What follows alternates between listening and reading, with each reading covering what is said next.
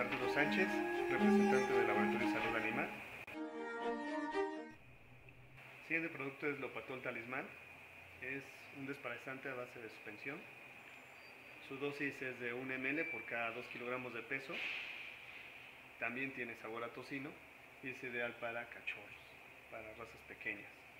Es 1 ml por cada 2 kilogramos y estamos recomendándolo 3 dosis seguidas por 3 días.